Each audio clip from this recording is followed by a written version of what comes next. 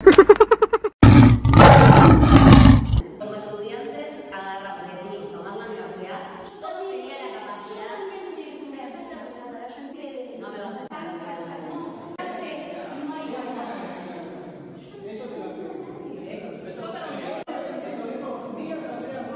Bienvenidos a una nueva edición. Esto es Despertando Leones.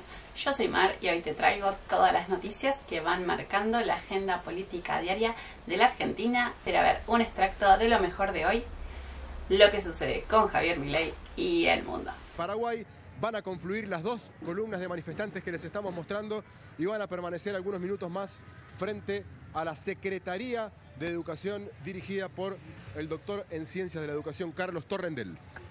Impecable, Lucas. Nos quedamos allí. Es una fantástica toma aérea. ¿eh? Es una fantástica toma aérea con el dron de la Nación. Eh, Lucas, estás viendo mucho, mucho estudiante. Estás viendo algo de lo que se vislumbró la semana pasada desde la estructura gremial, los partidos más de izquierda. Hoy, hoy el colectivo es más cercano a los estudiantes o hay mucho de aparato también. Te lo Mira, traduzco.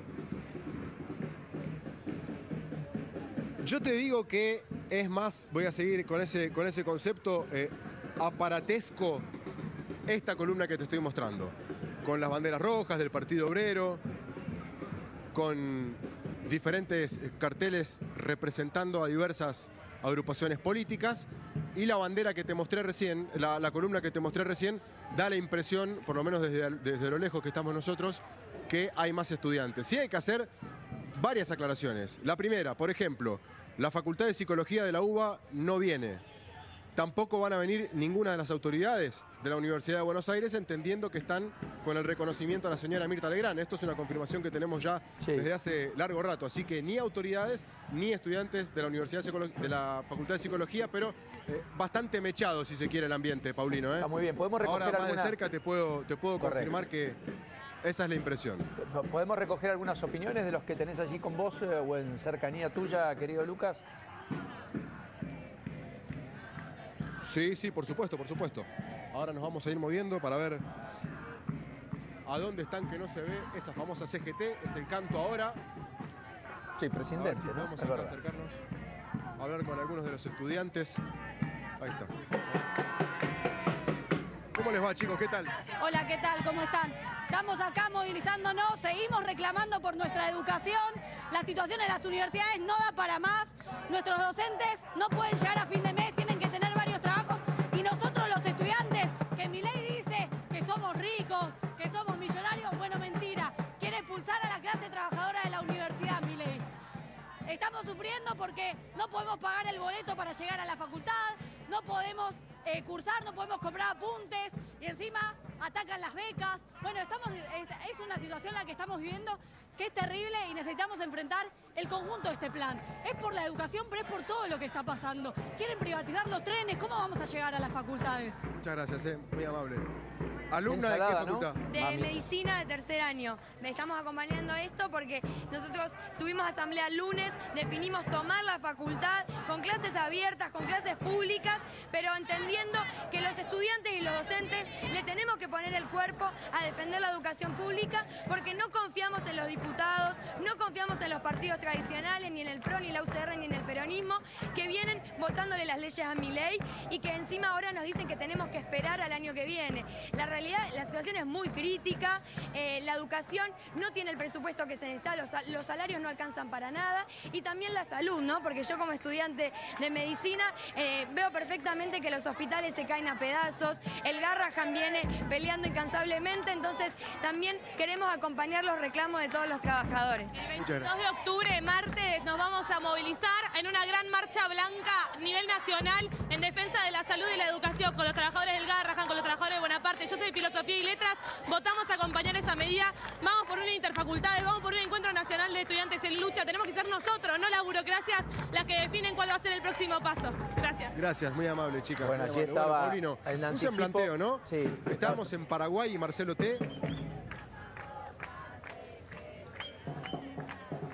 Sí, sí, perdón, Lucas E. Paraguay, Marcelo, Marcelo T. Perdón por el delay que te hablé eh, encima tuyo. 21 y 22 hay paro docente, el lunes y martes de la semana que viene. Ahí hay una convocatoria que acaba de hacer alguien para el 22. Eh, la primera de las voces muy radicalizada, políticamente muy vinculada a la izquierda, se notaba que era ya por todo, este, mezclando peras, manzanas, zapallitos rellenos, etc. Respecto a la voz que escuchábamos recién en materia de, de medicina, bueno, algunos argumentos adicionales. Me parece que acá muchos se encuentran también cómo entrarle o cómo estar en la calle, estaban sin brújula y encontraban en este conflicto la posibilidad de animarse, de estar, de ir, de golpear al gobierno. Insisto, yo creo que con torpezas del gobierno en el medio, ¿eh? no menores. Después está todo lo explícito que es escuchar la primera de las voces que escucharon, ver las banderas, ese colectivo que sí, todo lo que ven hoy no lo veían hace un año, no lo veían hace tres, en, en todo de acuerdo. Pero eso tuvo algo que fue el germen que gestó que esto esté sucediendo hoy y que no hubiera ocurrido, inclusive bajo los cuatro años de gobierno de Mauricio Macri. Eh, te, te sumo, Paulina, decías lunes y martes paro. Eh, otra de las medidas anunciadas hoy por el Frente Sindical Universitario va a ser que desde el miércoles 23 y todos los días miércoles hasta, dicen ellos, fin de año o hasta tanto recibir algún otro tipo de respuesta, va a haber clases públicas a las 12, tanto en el Congreso como en las distintas universidades. El 30 de octubre se van a sumar al paro de transporte, que ya lo, ya lo habíamos contado en su momento.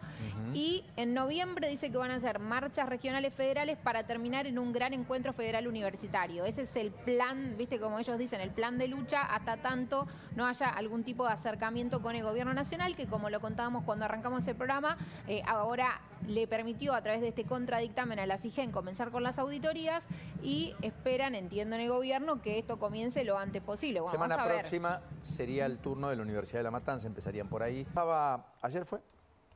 A ver. La facultad está tomada, no está funcionando, las clases van a ser públicas y afuera, así que las invitamos a, a seguir bajando.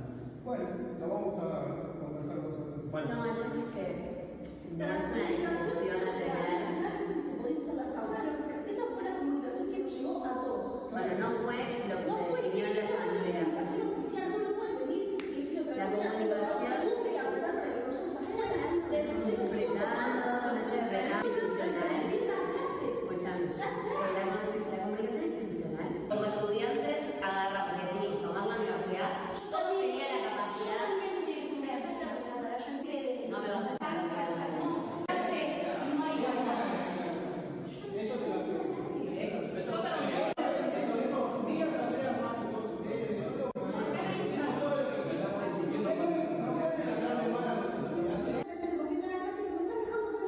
La clase está tomada, hay que bajarnos así, vaya una hora, está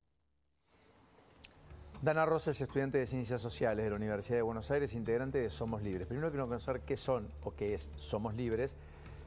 Y después, Dana, que nos expliques qué es lo que pasó exactamente ayer. Un placer, un gusto. ¿Cómo estás? ¿Qué decís? Buenas tardes. Hola, buenas tardes. Gracias por el lugar eh, y por hacer también voz de los pocos que somos. eh, cada vez somos más, pero somos pocos, la verdad, eh, los que tomamos una posición de oposición a todo lo- esto que está pasando y elegimos confrontar estas vías de fuerza que no nos representan. Así que gracias por el lugar. Faltaba más. ¿Qué es el colectivo Somos Libres? Perdóname, ¿me repetís? ¿Qué es el colectivo Somos Libres? Somos Libres es una agrupación que viene de hace rato ya. Eh, antes teníamos otro nombre, pero bueno, encontramos nuestro lugar. en Somos Libres, somos una agrupación que junta eh, todas las ramas del PRO, eh, desde el PRO más larretista, el burrichismo, también los que tienen de líder a, a Macri, incluso los republicanos. Eh, somos todo lo que va del espectro del centro a la derecha, que no hay representación en las universidades de nosotros, nos agrupamos eh, y con eso nos representamos. Somos todos los del centro para la derecha, digamos. Ah, ok. ¿Y han competido electoralmente ya? ¿Han tenido eh, incursión electoral en algunos de los de las elecciones en, En algunas de las distintos... facultades de la UBA sí, en las facultades sociales no, todavía, incluso esta, estas últimas elecciones quisimos presentarnos, eh, pero la verdad es que no llegamos a presentar los avales porque la única militancia que podemos hacer es virtual.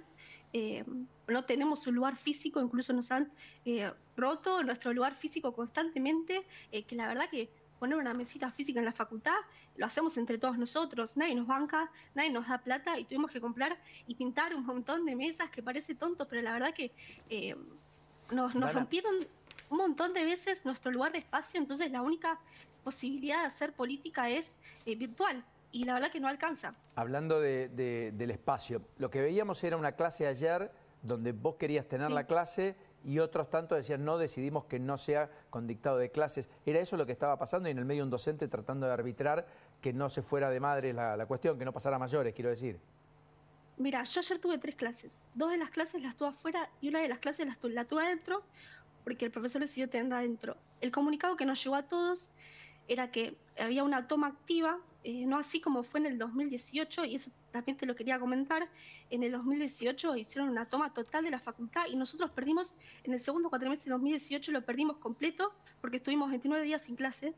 Eh, fue con Macri esto, o sea, no fue tan eh, en agenda como se puso capaz hoy en día, pero con Macri también perdimos muchos días de clase eh, por estas tomas. eh, Fue, fue una toma completa, pusieron candados, eh, pusieron sillas, bancos y no se podía entrar. Y aparte fue antes de la pandemia, entonces no teníamos los recursos. eh, de hacer una clase por Zoom, eh, la verdad que eso no era un recurso antes, entonces en, en el segundo cuatrimestre de 2018 sí fue una toma completa y perdimos un cuatrimestre entero. Eh, esta no fue así, es una toma activa, es decir, que hay clases.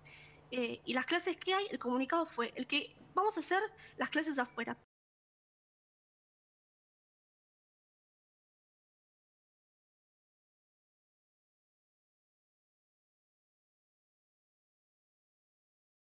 Pero si alguno, si algún profesor eh, lo requiere, puede usar las aulas.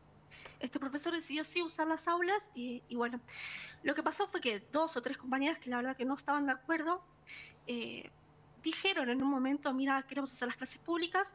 Lo que pasó es que no todos estamos de acuerdo con hacer clases públicas, entonces fuimos efectivamente a las aulas y cuando estaba por empezar la clase, vinieron estos muchachos que son que vienen con remeras de todos los colores, vinieron todos juntos, vinieron como de a 10 eh, a decirnos no, que tiene que, liberar el, el aula, que las aulas están haciendo, las clases se están haciendo afuera eh, y que teníamos que salir del aula. Y la verdad es que nadie estaba de acuerdo. Y la verdad que esa- esas dos o tres personas eh, que al final se fueron de la clase, no tuvieron la clase porque no estaban de acuerdo con tener una clase normal y dentro de un aula, decidieron irse eh, y no tener la clase. Y lo que pasó también es que al final, entre todos los compañeros votamos, eh, levantamos la mano y dijimos, todos estamos de acuerdo con, con quedarse acá en el aula y, y eso es lo que pasó. O sea, dieron la clase y se quedaron en el aula. Sí, sí, igual, eh, aunque tuvimos la clase, perdimos 40 minutos de clase, una clase de dos horas, eh, tuvimos que perder 40 minutos porque estas personas piensan que lo que ellos tienen para decir es más importante eh, que la clase que tenemos que tener. Que encima era una clase de historia, o sea, vinieron ellos a explicarle a un profesor de historia que, que de, de- de la pelea docente debe saber mucho más que vos y yo juntos, y vinieron estas personas que dicen representar al docente eh, a explicarle al docente cómo luchar por el docente. Eh, una locura Curioso, total, pero ellos realmente ¿Qué, pensaban qué mejor que carrera el estudias, profesor. Dana? ¿Qué carrera ¿Cómo? estudias? Perdóname, no te ¿Qué escucho carrera bien. estudias? Eso preguntaba. Ah, ciencia política, ciencia política. Politóloga, muy bien. Sí, ya estoy. Dana, ¿y, y cómo estás viendo vos o, o tu agrupación la situación de los, de los docentes? ¿Qué es lo que opinan ustedes ah, con respecto a ese tema? Con el tema docente en particular, eh, creo que ninguno de mi agrupación eh, va a estar en contra ni de la universidad pública, ni, ni en la revalorización del, del docente, ni el salario del docente. Nadie está en contra de eso, eh, como muchos quieren hacer hacernos pensar, nadie está en contra de eso. Lo que capaz se está discutiendo son las maneras de lucha. Eh, ¿no? O unos piensan que estas eh, medidas de fuerza que para ellos son revolucionarias, realmente ellos piensan que están haciendo eh, cosas revolucionarias que la, verdad que no lo son.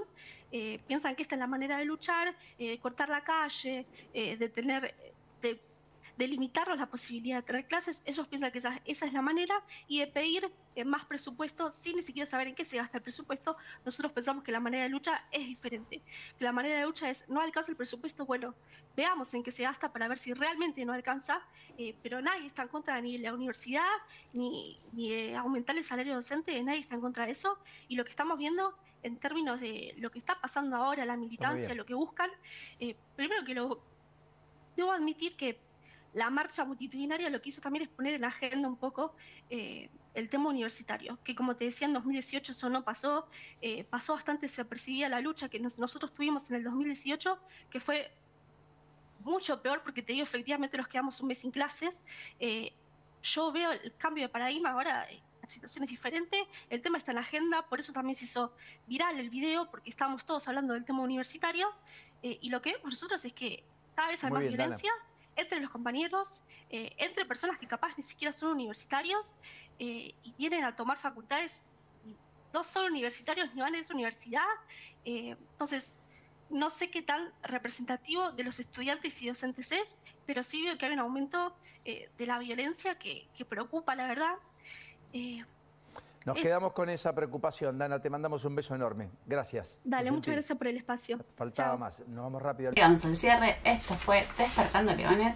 Si te gustan estos videos, te invito a que le des un me gusta, que lo compartas con todo el mundo, que me dejes tus comentarios para seguir dando la batalla cultural y por sobre todo que estés informado.